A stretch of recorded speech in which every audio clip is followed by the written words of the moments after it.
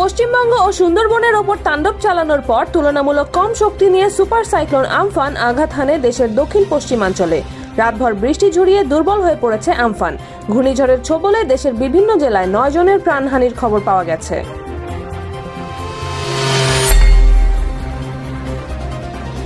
ঘূর্ণিঝড় আমফানের প্রভাবে দেশের উপকূলীয় এলাকার দশ লাখের বেশি গ্রাহক বিদ্যুৎ বিচ্ছিন্ন হয়ে পড়েছে।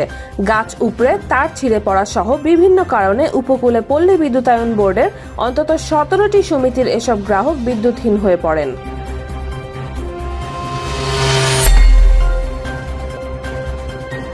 ঘূর্ণিঝড় আমফানে তছনছ হয়ে পড়েছে ভারতের পশ্চিমবঙ্গ রাজ্য।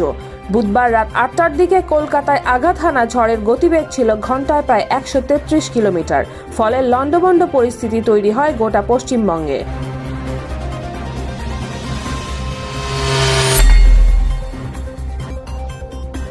প্রধানমন্ত্রী শেখ হাসিনাকে টেলিফোন করে করোনা মহামারী মোকাবেলায় বিশেষজ্ঞ দল পাঠানোর প্রস্তাব দিয়েছেন চীনের প্রেসিডেন্ট শি জিনপিং। এ তথ্য জানিয়েছেন প্রধানমন্ত্রীর প্রেস সচিব ইহসানুল করিম।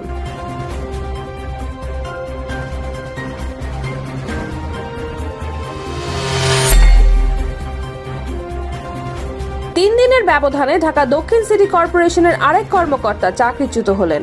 এর আগে প্রথম অফিসিয়াল দায়িত্ব পালনের দিনই ডিএসসিসির প্রভাবশালী দুই কর্মকর্তাকে অপসারণ করেন mayor barrister Sheikh Fazle Noor Taposh.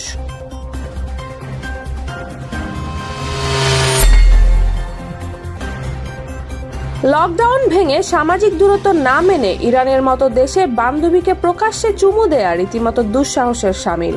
আর সেটি করতে গিয়েই গ্রেপ্তার হলেন ইরানের পার্কর অ্যাথলেট আলী রেজা জাপালাঘি।